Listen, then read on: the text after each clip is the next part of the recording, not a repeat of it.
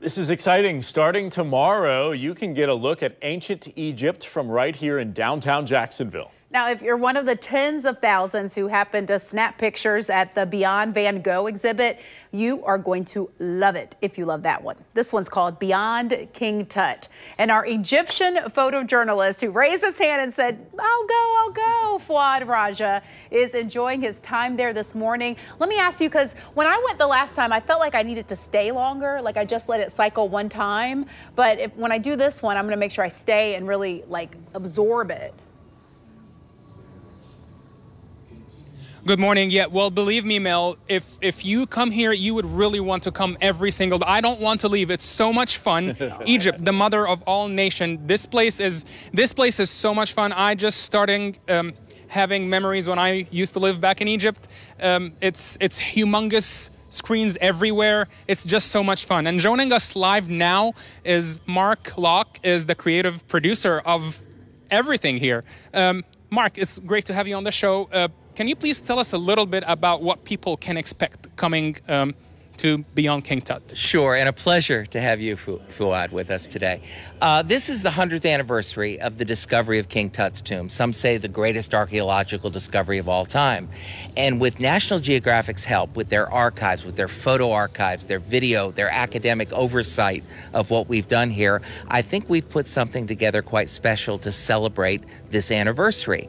Um, you know, folks uh, love Egypt, right? Uh, no matter where you go, I want to go to Egypt. I want to to visit Egypt someday. And sometimes people say, today is my journey to Egypt. So hopefully we've brought a little bit of history, a little bit of Egypt here to Jacksonville such um, an experience. Of course, it has a lot of logistics and um, uh, a lot of preparations. Talk to us a little bit about the behind the scenes, how many people are involved, and um, like how did you prepare for something like this? Well, it always cracks me up. We have you in this morning. We open to the public tomorrow. 24 hours ago, you wouldn't believe it would all come together, but it did. We had uh, probably 25 people on site.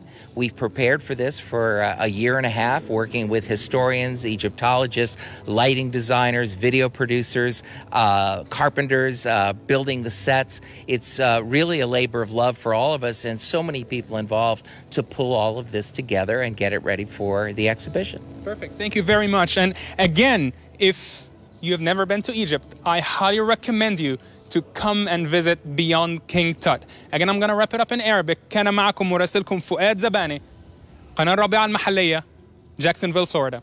Back to you. oh, how special. Yeah. I so, what, did anything really stand out to you? You know, you, you said it took you back. Everything. I mean, like, um, I remember I went with my school for a trip to Luxor and um, when I was back then, it, it, it just blew my mind. And now I'm, I'm just remembering everything that I have saw back then. So it's so much fun. It's a very, very immersive family experience. I highly recommend it. Cool. And authentic. Yeah. Authentic too, according to Fuad.